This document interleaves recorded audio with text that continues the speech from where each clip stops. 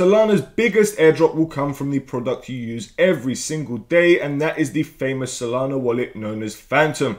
In the past, we've covered a Phantom airdrop tutorial, but as this is a big one we believe no one should miss, we feel the need to cover it again. So in this video, we're going to go into an in-depth airdrop tutorial for the Phantom wallet, and we will take you all step by step. Remember, nothing in this video is financial advice, purely my own opinion and based on my own research. Do not invest in anything you can't afford to lose. Use a burner wallet if you feel more comfortable, and be sure to smash that like and subscribe button. Leave a comment if you have any questions whatsoever, and be sure to follow us on Twitter at AltCryptoGems for daily crypto content, and check out our website for frequent guides, project reviews, articles, and everything crypto related. Friends, let's dive straight into it. Alright then my friends, we're officially on the Phantom website, which is phantom.app. We've got the official X page, which is at Phantom. Give them a follow and turn on the notification bells on because I believe very soon we're going to get a notification about an airdrop. Nonetheless, they do good tweets as well about other airdrops and everything about the Solana ecosystem, so they are a good follow on X in my personal opinion. Now, like I did mention, we have covered an airdrop tutorial on the Phantom wallet before, around five months ago, but I think it's about time we do it again. So guys, this is going to be one of the biggest airdrops in my personal opinion. The Phantom wallet is roughly valued at $1.2 billion. They even have airdrop indicators on their very own wallet, which to me, guys, is a green flag to an airdrop of their own. And guys, if you don't have a Phantom wallet and you're here from scratch, we actually have got a Phantom wallet tutorial which shows you how to set up a Phantom wallet. We made this video around a year ago and it should still be of good use. This is for those who don't know how to set up a Phantom wallet. It's very, very simple and you'll do it all in under five minutes. However, for those who do have a Phantom wallet, you should have some Solana assets in your wallet. If you don't, then obviously you're going to need some to continue with this video. Why? Because you're going to need to gather up as many transactions and as much volume as possible. So guys, I'm going to show you all the features that we need to focus on. I'm going to show you all the best little bonus features that we can use. However, for those who want to understand a bit more about Phantom and everything about it, you can go over to their website and you can learn everything about their app. When it comes to the security, when it comes to the features, you can even learn things about the Solana ecosystem if you wish under their learn and blog page. However, I'm going to assume that you already have a Phantom wallet. And what we're going to do is, guys, the first thing I want to show you right now, because there's nothing we can do on here, is the Phantom Layer 3 application. However, I personally believe that they're going to have more quests coming soon, and there could even be one of the Infinity Cube quests of Layer 3, which are live right now, and that is another airdrop for Layer 3, which I'll be covering very soon. However, we do have a Layer 3 airdrop tutorial already, but that is an out-of-date one, but we will be covering it again in the future. Nonetheless, I would recommend coming over here, guys, and following Phantom over on Layer 3. As you can see, I've completed so many quests and I've also received many official Phantom and Layer 3 NFTs, as you can see the ones tagged here. There aren't any quests active at the moment. There are many Solana quests that you can do on Layer 3, so if you want to do that, you can, and I will leave this linked in the description below. This is just something that I think you should keep an eye on because I do believe there will be more quests and it should help us qualify for both Layer 3 and the Phantom airdrop. Guys, this is not the main focus. What we're going to be doing is we're going to be spending our time in our wallet. Now in the top right corner, I've got my Phantom wallet like I've already shown you. Here guys is the little indicator of an airdrop which I also shown you which we did receive the Parcl airdrop. I did claim and sell my portion. I'm not going to lie to you because it was dumping very hard. I might buy my way back in very soon. It is an RWA crypto gem in my personal opinion. But enough of Parcl. Look at this guys. We can even import our MetaMask accounts to do everything in our Phantom wallet instead. If you wanted to completely integrate over from MetaMask, which I personally don't do, I separate my Solana wallet to the Phantom wallet and then I do everything else on my MetaMask wallet. However, the great thing about Phantom is that it's a multi-chain wallet, so you can either use Solana, Ethereum, or Polygon. At the moment, there aren't any other networks, but I believe that there are going to be more networks integrated in the future. I think this is a great start, but their main focus is obviously the Solana network. Therefore, what we're going to do is, guys, we're going to be focusing on the Solana ecosystem. As you can see, I've got roughly $90 of Solana. I've got roughly $100 of Solana staked with the Infinity token, which we have that on the Sanctum airdrop. And I will leave that linked in the description below because I think that is a great airdrop in the Solana ecosystem. Also, you can see all my other assets, my friends, all of which I store in my Phantom wallet. And I personally believe the more assets and the more that you use the Solana ecosystem through the Phantom wallet, the better the odds of getting an airdrop and a bigger one. Now, I personally believe that if you're setting up loads of random wallets, just doing random swaps just in the Phantom wallet, I think that you could be flagged as a Sybil user, which is a user that does not receive any airdrops because they are just farming the system. However, if you are a legitimate user like myself, then what you are going to be doing is you're going to be using multiple decentralized applications within the Solana ecosystem, but most importantly, we're going to be focusing on the Phantom wallet.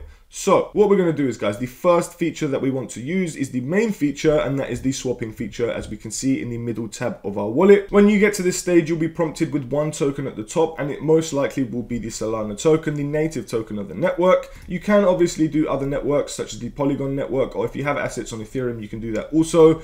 But like I said, we'll be focusing on Solana in this video. And as you can see, we can see all of our Solana tokens.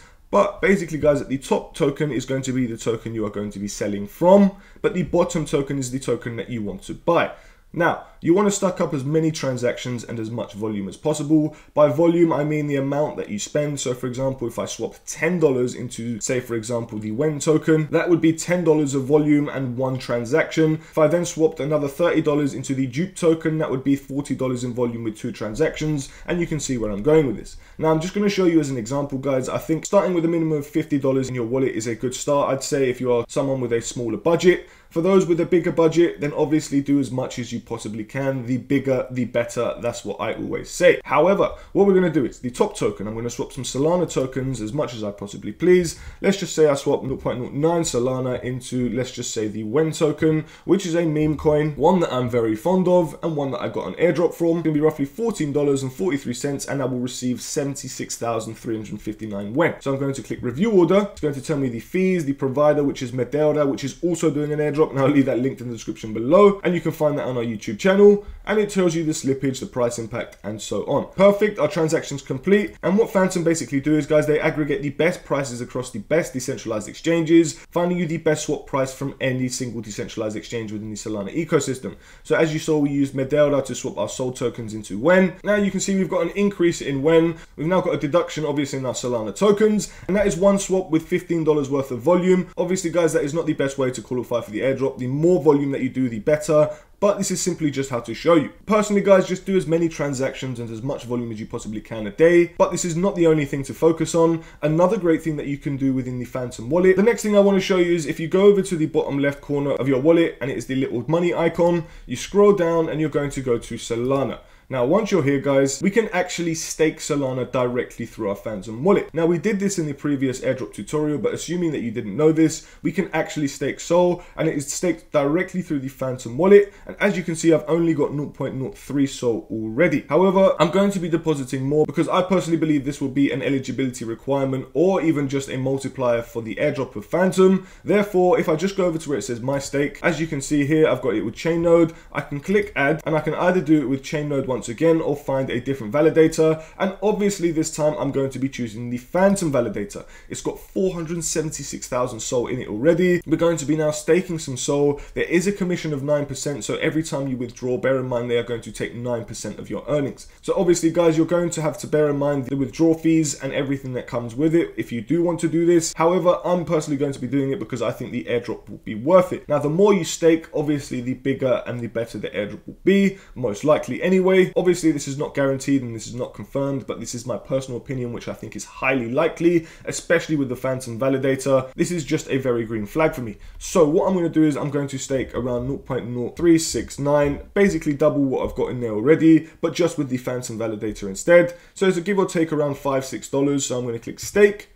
and it's going to simply stake my Solana within the validator of the Phantom validator. So now, as you can see, my friends, we are now activating our stake with the Phantom validator. We've already done it with ChainNode, so we've got a total of two stakes. Possibly, my friends, by staking with more validators, you could qualify yourselves for a bigger and better airdrop. So bear that in mind. If you want to stake with more validators, more than just Phantom, then be my guest. But I'm assuming the primary focus and the best one to do is obviously the Phantom validator.